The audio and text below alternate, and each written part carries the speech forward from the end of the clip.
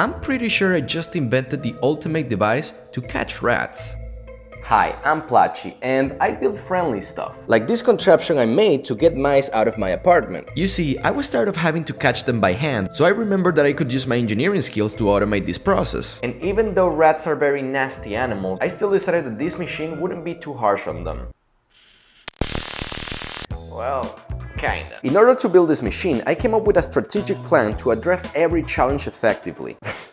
Jesus, I sound like a politician. Detect, neutralize, reinforce, and release. Or how I like to call it, the dinner. First things first, if we want to catch rats, then we need to be able to spot them. And there are many ways that this can be done. We can use infrared sensors, ultrasonic sensors, or even a simple trigger caused by the pull of a cable. However, my favorite one is using a laser and a photoresistor. Since photoresistors can detect changes in ambient light, it is easy to create a security system when you pair them with a laser because once something blocks the beam, the value detected will drastically change. Therefore, letting us know that the mouse has been spotted. Now, how are we gonna neutralize the target once we detect it? Usually, rat traps employ some kind of sticky substance to stop them from escaping. But that is a terrible solution because it only works once. After that, you need to replace the sticky pad with a new one, and I want to make this process completely autonomous. So a better way to keep the rat in place is with a little bit of electricity.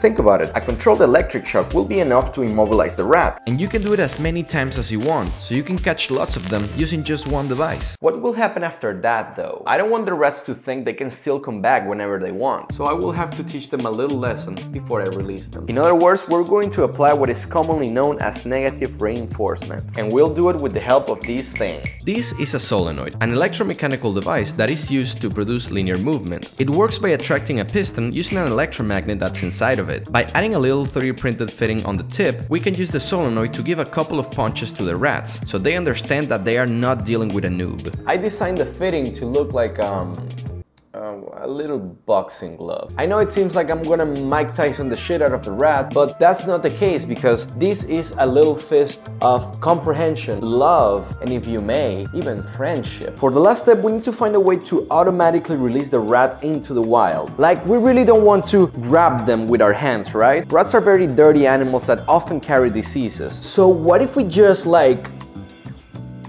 them. This is a stepper motor, a strong and precise device that I will use to send the target back to where it came from. The way I'm gonna do this is by creating some kind of platform that I'm going to attach to the motor. The platform will have cheese to attract the rat as well as all the system we have planned so far. So when the mouse is detected, the motor will launch them out of my apartment. This is how the platform will look like. It has an opening in the middle, which is how we're going to connect it to the stepper shaft. I 3D printed it in two parts and glued it together because it was longer than the build plate. Okay, so first I'm gonna test how quickly I can rotate the platform. The faster it turns, the further away we'll send the rat. Alright, test number one.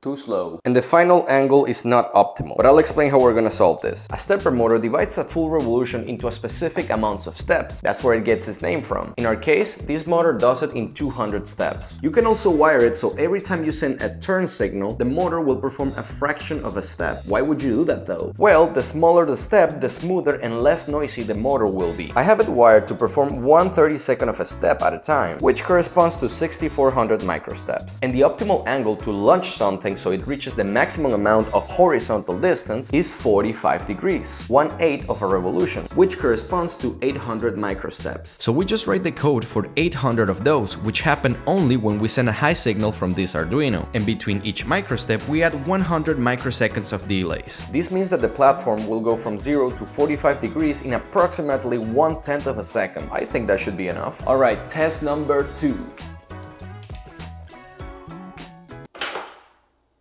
Huh? So I did the math in my head, and by that I mean I tried like 7 million different things to make it work, but this motor is just not strong enough. So I will have to change it for not one, but two bigger stepper motors. And I'm not even sure if that's gonna be enough, so let's see. Also, I 3D printed a little fitting and glued it to the platform so I could attach the second motor. Alright, test number two. Let's see if the two motors are strong enough to at least lift the platform without any weight. ah, I forgot to connect the power. What a dumbo. Okay.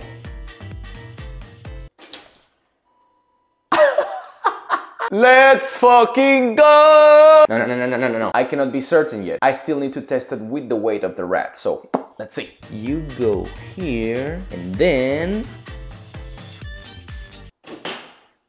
No! I think I know what's happening. The command strips holding the motors aren't strong enough to keep them in place. So I'm just gonna hot glue them to the mat. Okay, hot glued them, so that should do it, I hope. Ah, please work. Finally! So each part of the system is now complete. The only thing left to finish this rat catcher is to put everything together. I'll start by adding the detection system. On one side, I'll place the laser and on the other, the photoresistor. Now, whenever something blocks the beam, the system will get triggered. After that, I added the taser, which I attached to a servo motor. This way, I can move it away from the platform before it sends the rat flying. Next, I'll place the solenoid beside the end of the platform. As you can see, there is a little wall that prevents the rat from getting punched out of it. Lastly, I'll connect everything to the circuit, which also has an MP3 player used for, um, let's say dramatic purposes. So now it's finally time to see if our rat catcher is a success like Keanu Reeves or a disappointment like me. Okay, so let's say that the rat enters my apartment, climbs my desk, I don't know how, but it does it. When it gets to the top, somehow decides not to chew any of the cables, and then it says, oh shit, there is cheese. And then when it gets here, this is what happens. Rat detected. Hey there, Mr. Rat. It seems like you just fell into my trap, but don't worry, I'll try to be gentle. Neutralize. Listen to me, buddy. This apartment is too small for the two of us, so take this as your one and only warning sign. Reinforce. Now, go back to the dirty hole you came from and tell your friends who the boss is.